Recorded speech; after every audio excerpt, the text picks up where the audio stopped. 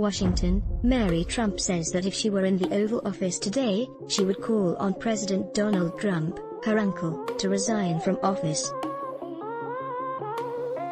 That's a much different message than the one she relayed to him in April 2017 when she visited the White House. July 15, 200 2004. 34 inches an interview with ABC News George Stephanopoulos to promote her new tell-all book about Trump. Mary Trump said that when she was in the Oval Office four months into her uncle's presidency, she told him, don't let them get you down. He already seemed very strained by the pressures, she said in an interview with Good Morning America, which aired Wednesday.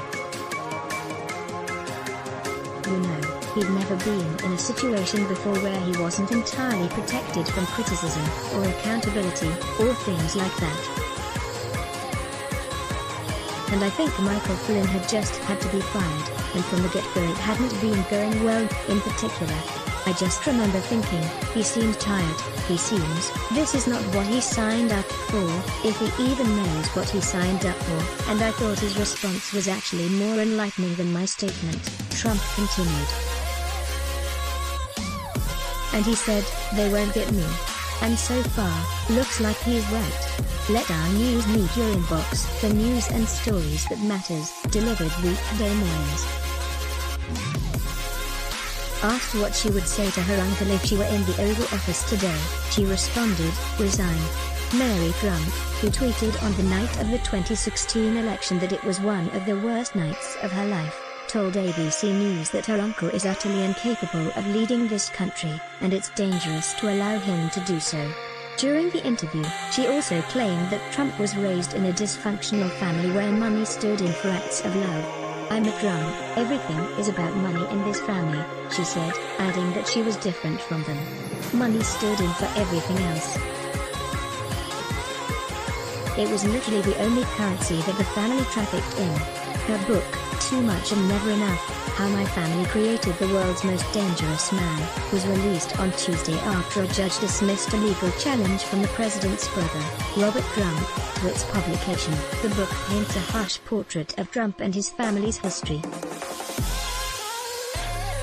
Among the allegations, Mary Trump wrote that her uncle had someone else take the SAT for him, which helped him transfer from Fordham University to the University of Pennsylvania, a claim that a White House spokesperson called completely false. I've been told this by people in my family, I'm absolutely confident that it's true, Trump told ABC, adding that she never met him and isn't sure if he's still alive.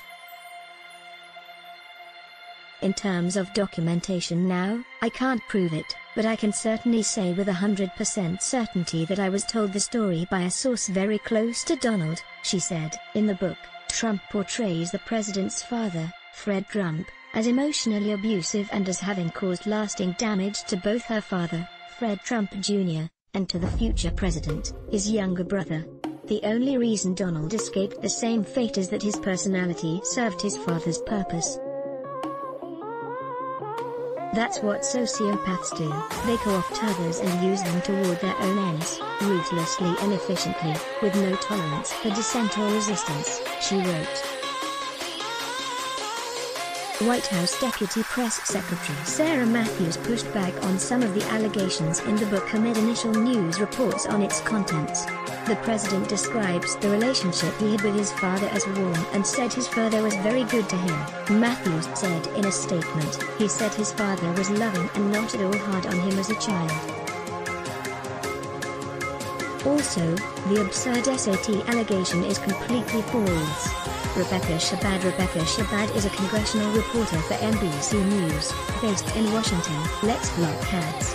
Why? Show your love for him.